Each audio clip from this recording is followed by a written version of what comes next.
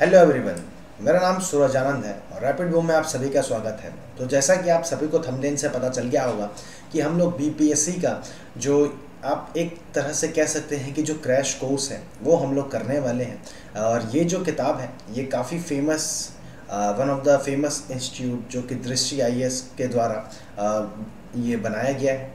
और इसी किताब को चुनने का मेरा प्रोस्पेक्टिव क्या था दोस्तों? क्योंकि इसके जो डिस्टेंस लर्निंग प्रोग्राम है, और बेसिकली अगर मैं अगर इसके इंडेक्स पर जाऊँगा तो इसमें सारी की सारी चीज़ें up to dated up to dated होने के साथ ही साथ और एक बहुत ही अच्छा कलेक्शन इसका बताया गया है। जिसकी वजह से मैंने इस किताब को आप लोगों को सजेशन कर रहा हूँ कि अगर बीपीएससी के लिए जल्दी से किसी किताब को पढ़ना है और उसमें सारी चीज़ें अपडेट होनी चाहिए तो ये इस किताब पर जाइएगा। तो चलिए दोस्तों, चीज़ों की शुरुआत कराते हैं और बेसिकली एक बार मैं इसके इंडेक्स पर बात कर लेता हूँ। तो स्टार्टिंग स्टार्टिंग में जो सामान्य परिचय है कहाँ पॉपुलेशन ज़्यादा है, कहाँ कम है, कहाँ क्या है, कहाँ क्या है, इस हिसाब से क्वेश्चन मतलब टॉपिक है। फिर प्राचीन इतिहास है, फिर मध्यकालीन है, फिर आधुनिक है, फिर भौगोलिक, यानी कि फिर जोग्राफिकल कंडीशन जिसमें जलवायु है, मुद्रा है, अफवाह क्लाइमेट वगैरह, कृषि वगैरह, जितनी सारी चीज़ें हैं वन्य वन्य फॉरेस्ट वगैरह, खनिज मिनरल्स फिर औद्योगिक मतलब ए टू जेड राज्य व्यवस्था आ गया पॉलिटी आ गया, पंचायती राज्य व्यवस्था आ गया, शिक्षा टूरिस्ट कला क्षेत्र, ये जितनी सारी चीज़ें हैं दोस्तों, आप लोगों को काफ़ी अच्छे से दिख भी रहा होगा। और एक चीज़ मैं आप लोगों को बता दूँ, ग्रुप पे मैंने ये पीडीएफ डाल दिया है और जिसको भी मैं यही सजेशन दूँगा कि अगर बीपीएससी की तैयारी अभी भी आप लोगों का अगर रह रहा है और जल्दी से कवर करना है तो ये किताब पढ़ लीजिए, एक रीडिंग दो रीडिंग दे लीजिए, आपकी सारी चीज़ें क्लियर हो जाएँगी। दोस्तों मैप से सबसे ज़्यादा सवाल आते हैं। मैप को एक बार ध्यान देते हैं तो पूर्वी चंपारण। पहले तो मैप से सबसे पहले क्वेश्चन ये आता है कि बिहार कितने राज्यों से बॉर्डर शेयर करता है। तो तीन राज्य हैं उत्तरा उत्तराखंड नहीं है, उत्तर प्रदेश है, झारखंड है और पश्चिम बंगाल है और एक इंटरनेशनल बॉर्डर हमारे बिहार शेयर करता है। सबसे पहला आता है कि नेपाल से कितने राज्य, अगर कितने डिस्ट्रिक्ट हैं बिहार के, जो कि शेयर करते हैं तो एक, दो, तीन, चार, पाँच, छः, सात। टोटल सात ऐसे राज्य हैं, जो कि नेपाल से बॉर्डर शेयर करते हैं। इसी के साथ ही हम हम आगे बढ़ते हैं तो यहाँ पर सारी चीज़ें हो जाएँगी। तो बिहार का जो जो राज्य नाम है वो राज्य नाम कुछ इस तरह का है कि बौद्ध में जो विहार विहार बेसिकली जो रेस्ट प्लेस है उसको कहते थे। इसी के कारण इसका जो नाम है वो, वो यहाँ पे पड़ गया। स्थापना दिवस आता है 22 मार्च 1912 में।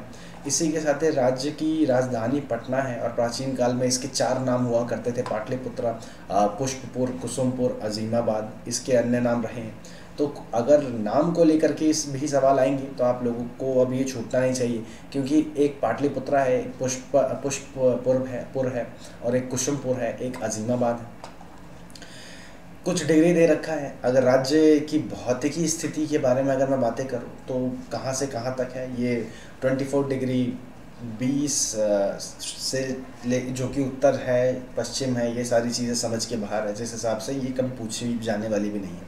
25 से 27 याद रखिए 83 से 88 याद रखिए। और 25 से जो 27 है 24 से जो 27 है, ये उत्तरी का है, यानी नॉर्थ का है, और यहाँ पर पूर्वी का है, जो कि ईस्ट का है। क्लियर है? आगे बढ़ते हैं। राज्य का क्षेत्रफल कुछ इस तरह है। ये देश का तेरहवा सबसे बड़ा राज्य है। थर्टीन सबसे बड़ा राज्य है, जो कि हम कह सकते हैं कि नाइन्टी स्क्वायर किलोमीटर है। इसी के साथ ही दक्षिण से मतलब दक्षिण कह रहा हूँ। दक्षिण से उत्तर तक, यानी कि नॉर्थ से लेकर के साउथ तक, इसका जो डिस्टेंस है, वो 345 किलोमीटर है। पूर्व से लेकर के पश्चिमी तक, पूर्व से लेकर के पश्चिमी तक इसका जो है, वो 483 है। आप लोग साढ़े तीन सौ और साढ़े चार सौ के हिसाब से भी याद रख सकते हैं। क्योंकि अगर मैप को देखें तो जो इसका पूर्व से लेकर के पश्चिम तक का इलाका है, वो साढ़े चार सौ, यानी कि फोर एटी थ्री है नॉर्थ से लेकर के साउथ का जो हिस्सा है, वो छोटा भी है थोड़ा। तो जिस हिसाब से साढ़े तीन सौ है, यानी तीन सौ चालीस के आसपास इसका बनता है। आगे बढ़ते हैं। इसी के साथ ही पूर्व से पश्चिम तक बता दिया। हाँ राज्य की सीमा से लगे तीन राज्य, जो कि आपका तीन है। पश्चिम बंगाल है, यूपी है, और उसी के साथ झारखंड है। तो पश्चिम बंगाल, जो कि पूर्व में है उत्तर प्रदेश पश्चिम में है, और झारखंड दक्षिण में है। नेपाल उत्तर में है। नेपाल एक अलग ही कंट्री है। कुल भौतिकी क्षेत्रफल 2.8 परसेंट है। नेपाल की सीमा से लगे ज़िले, यानी कि नेपाल की सीमा, मैंने आपको अभी जस्ट बताया कि सात ज़िले हैं। पश्चिमी चंपारण है, पूर्वी चंपारण है, सीतामढ़ी है, मधुबनी है, सुपौल है, अररिया और किशनगंज है। उत्तर प्रदेश की सीमा से लगे आठ हैं। तो ये रोहतास है, कैमूर है, बक्सर है, भोजपुर है, सारण है, सिवान है, गोपालगंज है तथा पश्चिमी चंपारण है। पश्चिमी बंगाल की सीमा से लगे ज़िले तीन है टोटल। किशनगंज है, पूर्णिया है, कटिहार है। ओके क्लियर आगे बढ़ते हैं। झारखंड से लगे सीमे तो भागलपुर है, बांका है, जमुई है, नवादा, औरंगाबाद, रोहतास और एवं कटिहार है। क्लियर आगे बढ़ते हैं। क्षेत्रफल की दृष्टि से सबसे बड़ा जिला पश्चिमी चंपारण है। सबसे छोटा शिवहर, सबसे उत्तरी, जो कि सबसे ऊपर पश्चिमी चंपारण है। दक्षिणी, जो कि सबसे नीचे है। इसको गया कहते हैं। गया से मुझे एक चीज़ याद आया। लोग गया में और बौद्ध गया में कहते हैं कि ये दोनों एक ही है या फिर नाम ही अलग है वगैरह वगैरह। तो मैं आप लोगों का एक कन्फ्यूज़न दूर करता हूँ कि गया अलग है और बौद्ध गया अलग है। गया से 16 या 17 किलोमीटर दूर बौद्ध गया पड़ता है। और बौद्ध गया क्यों फ़ेमस है? कभी इतिहास की क्लास में मिलिएगा तो मैं बताऊँगा। सबसे पश्चिमी जिला कैमूर है। पश्चिमी जिला कैमूर है। सबसे पूर्वी जिला किशनगंज है। राज्य की जलवायु मानसूनी है। सामान्य वर्षा का जो मिलीमीटर है वो 1200 के आसपास है। सबसे सर्वाधिक वर्षा वाला जिला किशनगंज है। इसी के साथ ही सबसे कम वर्षा वाला जिला रोहतास है औरंगाबाद है, कैमूर है, गया है। सबसे गर्म स्थान गया है। समुद्र तट से औसत दूरी ये है आपका 200 किलोमीटर। समुद्र तट से औसत ऊंचाई ये 173 फीट है, लगभग 53 मीटर राज्य की कुल जनसंख्या जो 2021 के सेंसस के अराउंड निकल कर के आई थी तो ये कुछ इस तरह है कि 10 करोड़ 11 के आसपास आप मान करके चलिए, क्योंकि पॉपुलेशन दोस्तों ये 2011 के ही सेंसस के हिसाब से इसी के साथ ही राज्य की कुल जनसंख्या के पुरुष अगर 11 मान करके चलते हैं आप तो उसमें से सिक्सटी परसेंट जो भाग है, वो पुरुष है, बाकी महिला है। राज्य की कुल, ये बता दिया, राज्य की कुल जनसंख्या में टोटल एट पॉइंट मतलब इंडिया भर में कहने का मतलब ये है कि एट पॉइंट सिक्स परसेंट की जो जनसंख्या है, वो यहाँ पर रहती। कुल राज्य की दृष्टि से तीसरा स्थान है, राज्य अगर मैं अगर बात करूँ जनसंख्या पर तो तीसरा स्थान है, पहला यूपी है और दूसरा महाराष्ट्र है, तीसरा बिहार है। जनसंख्या में दर्शनीय वृद्धि 2001 से लेकर के 2011 25.42 देश में छठा नंबर पर आता है। जनसंख्या घनत्व व्यक्ति वर्ग तो ये 1100 देश में पहला स्थान है। क्लियर है? डेंसिटी पर इंडिया भर में पहले आज से चार पाँच साल पहले वेस्ट बंगाल हुआ करता था बट अब जो रिकॉर्ड है वो बिहार ने तोड़ दिया है। मतलब कहने का क्या मतलब है कि यहाँ की जो डेंसिटी है वो सबसे ज़्यादा है।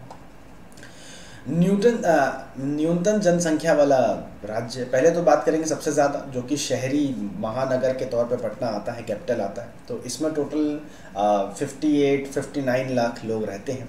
इसी के साथ ही सबसे कम जनसंख्या वाला राज्य जिला तो ये शे, शेखपुरा है जिसमें अराउंड छः सात के बीच में लोग रहते हैं लाख है। सबसे अधिक वृद्धि दर वाला ज़िला मतलब जहाँ पर वृद्धि हो रही है पॉपुलेशन की बहुत तेज़ी से तो मधेपुरा है thirty one point one two percent वृद्धि वाला सबसे कम राज्य जिला, मेरे मुँह से बार बार राज्य निकल जा रहा है, बट ये जिला है तो गोपालगंज आता है नाइनटीन पॉइंट टू परसेंट सर्वाधिक जिला, घनत्व वाला जिला मतलब कि सर्वाधिक जनसंख्या जिसमें सबसे ज़्यादा घनत्व है तो शिवहर है, जहाँ पर 1880 व्यक्ति प्रति वर्ग किलोमीटर पर रहते हैं। सबसे कम घनत्व वाला जिला तो ये कैमूर है, जिसमें कि भभुआ है, जो कि 488 व्यक्ति वर्ग किलोमीटर पर रहते हैं। साक्षरता दर लगभग लगभग लगभग 61.8 परसेंट है और 68.61.8 है, जिसमें कि पुरुषों का 70 है और फिर महिलाओं का 50 है। सर्वाधिक साक्षरता वाला जिला तो रोहतास है। Seventy three point three seven सबसे कम पूर्णिया है। अब बात करेंगे मेल की। मेल सबसे ज़्यादा पढ़े लिखे रोहतास में है और सबसे कम पढ़े लिखे पूर्णिया में है। फीमेल की बात करेंगे तो सबसे ज़्यादा रोहतास में और सबसे कम महिला का जो लिटरेरी, लिटरेसी है तो वो सहरसा में है forty one point eight percent लिंग अनुपात वन नाइन हंड्रेड एटीन है। सर्वाधिक लिंग अनुपात वाला जिला तो गोपालगंज है। सबसे कम मुंगेर है। शिशु लिंग अनुपात ज़ीरो से छः साल के उम्र तक के बच्चे तो ये नाइन थर्टी फाइव है। सर्वाधिक शिशु लिंग अनुपात वाला जिला तो ये किशनगंज है। उसी के साथ ही सबसे कम लिंग अनुपात वाला जिला वैशाली है। सर्वाधिक नगरीय जनसंख्या वाला जिला तो ये पटना है, बिल्कुल। और सबसे कम शिवहर है। क्लियर आगे। आ, कुल जनसंख्या में ग्रामीण जनसंख्या का प्रतिशत 88.71 है और सर्वाधिक नगरीय जनसंख्या प्रतिशत पटना में है। और ये सारी चीज़ें हैं दोस्तों। और इसमें से जो जो इम्पोर्टेंट होगा वो मैं आपको बताते जाऊँगा। जैसे सबसे ज़्यादा सबसे कम हमेशा आते हैं। सर्वाधिक अनुसूचित जाति वाला जिला तो गया है। और फिर सर्वाधिक अनुसूचित जाति वाला जिला प्रति प्रतिशत वाला जिला गया ही है। सबसे कम शिवहर में है और प्रतिशत वाला ये किशनगंज उभर करके आ जाता है। इसी के साथ ही जो अगला क्वेश्चन उभर करके आता है कि राज्य में उच्च न्यायालय पटना में है और ये 1916 में स्थापित हुआ था। इसी के साथ ही आगे बढ़ते हैं। तो जिला कितने हैं? तो 38 है। अनुमंडल कितने हैं? 101 प्रखंड कितने हैं? 534 पंचायत कितने हैं? 8406 पुलिस स्टेशन कितने हैं? ये सारी चीज़ें कितने हैं? नहीं आते, इस हिसाब से इतना सोचने वाली बात नहीं है। हाँ इसी के साथ ही राज्य चिन्ह क्या है और राज्य भाषा क्या है? सेकंड राज्य भाषा उर्दू है। याद रखिएगा दोस्तों, राज्य पक्षी जो है इसका गौरिया है और राज्य वृक्ष पीपल है और राज्य पुष्प गेंदा है, जिसको मैरीगोल्ड कहते हैं। राज्य मछली मांगूर है। मुंगेर से मांगूर याद रखिएगा। राज्य पशु बेल है। राज्य गीत मेरे भारत के कटहार, तुझे शत शत बंधन बिहार ऐसा कोई गाना है? विश्वविद्यालय तेईस है, और इसमें जो लोक नृत्य नृत्य है, ये घोड़वा है, कट है धोबिया है तो ये सारी चीज़ें हैं। इसी के साथ ही साथ वन्य जीव अभ्यारण ये सब हम लोग आगे भी पढ़ेंगे, जिस हिसाब से अभी इस पर मैं ज़्यादा ज़ोर नहीं दूँगा। प्रथम कौन थे? तो प्रथम राज्यपाल जय राम दास, दौलत राम थे। प्रथम मुख्यमंत्री डॉक्टर श्री कृष्ण थे। प्रथम मुस्लिम राज्यपाल डॉक्टर जाकिर हुसैन थे। प्रथम मुस्लिम राज्य मुख्यमंत्री अब्दुल गफूर थे। प्रथम दलित मुख्यमंत्री भोला पासवान शास्त्री थे। प्रथम महिला मुख्यमंत्री राबड़ी देवी थी। प्रथम विधानसभा अध्यक्ष राम दयालु सिंह थे स्वतंत्र से पूर्व के बाद में और स्वतंत्रता के बाद में ये विधेश्वर प्रसाद वर्मा बन गए थे। प्रथम विधानसभा उपाध्यक्ष यहाँ पे अब्दुल्ला बारी हुआ करते थे। इसी के साथ ही विधानसभा में प्रथम विपक्ष के नेता एस के बांगे हुआ करते थे। ये सारे जितने फैक्चुअल डेटा है दोस्तों, पढ़ते जाइएगा। और, पढ़ने के साथ ही साथ याद रखिएगा कि जो हमारा बेसिक जो टर्म है बिहार को लेकर के, वो जैसे कि फैक्चुअल जितने क्वेश्चन आते हैं, किसका ज़्यादा है, कौन कम है, कहाँ क्या है, कौन पहला, कौन आखिरी था तो ये सारी चीज़ें हैं। अब हमारा जो शुरू होगा, वो एंशंट शुरू होगा। और एंशंट शुरू होगा दोस्तों तो ये मैं अब अगली क्लास में आप लोगों को आप लोगों को करवाऊँगा। तब तक के लिए पीडीएफ डाउनलोड करिए और जल्दी से अगर तैयारी करनी है तो दोस्तों इससे बेस्ट ऑप्शन मैं और सजेस्ट आप लोगों को इस टाइम पे नहीं करने वाला हूँ। मुश्किल से अगर देखा जाए तो पंद्रह दिन बचा है और पंद्रह दिन में सात आठ दिन इसको लगाइए और फिर जैसा होगा वो देखा जाएगा। तो चलिए दोस्तों, मिलते हैं अगले वीडियो में, तब तक के लिए अपना ख्याल रखिए। थैंक यू एंड जय हिंद